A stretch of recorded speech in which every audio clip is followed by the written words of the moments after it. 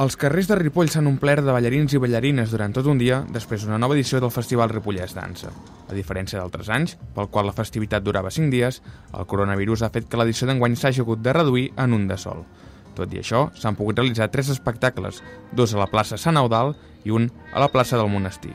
L'organització no ha volgut suspendre l'activitat per no perjudicar més la cultura. Que la dansa és una gran damnificada d'aquesta pandèmia i els ballarins i ballarines s'han vist molt danyats en aquest sentit i per tant nosaltres sí que és cert que hem volgut reduir donades les circumstàncies però mantenir el batec de, de la dansa que, sigui, que segueixi viva, no? O sigui, encara que estigui a la UCI, que segueixi encara el cor bategant.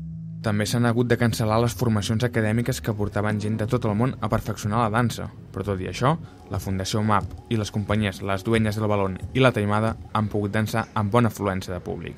De fet, els assistents han tingut l'oportunitat de ballar durant una de les sessions que ha protagonitzat la Fundació.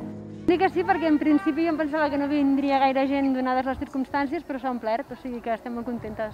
L'organització espera que el 2021 es tornin a recuperar els 5 dies de festival, una edició que està pràcticament enllestida, ja que moltes actuacions aquest estiu s'han posposat per l'any que ve.